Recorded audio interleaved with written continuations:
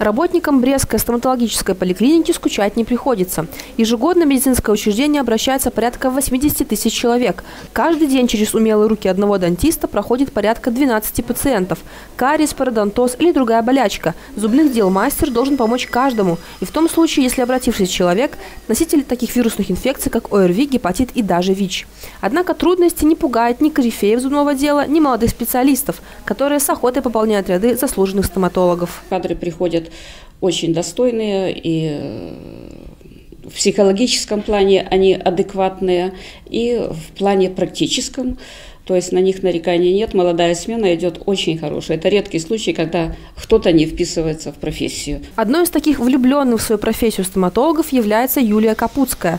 Коллеги и пациенты любят молодого врача не только за профессиональные качества, но и за бесценное умение слышать и слушать больного. Ведь часто доктору любой специальности приходится быть врачевателем души своего пациента. Каждый пациент – это индивидуальность. Поэтому, если кто-то боится, где-то теплым словом, улыбкой – Пациенты идут на контакт. Наталья Кондратюк пришла в Брестскую стоматологическую поликлинику 22 года назад. Дочь врачей ни на секунду не сомневается, что выбрала верную профессию. Каждый день Наталья Владимировна дает профессиональные советы молодым специалистам, консультирует и лечит своих пациентов, страдающих от зубной боли.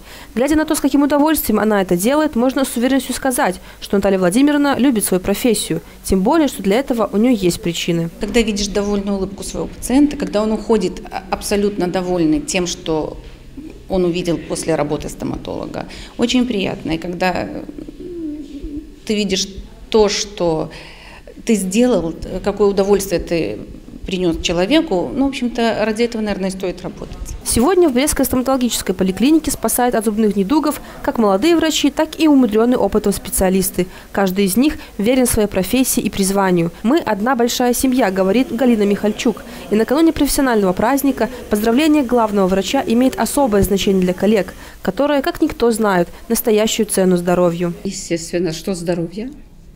Если у них будет какая-то болячка, то это только чтобы был какой-то кариес, который непобедим.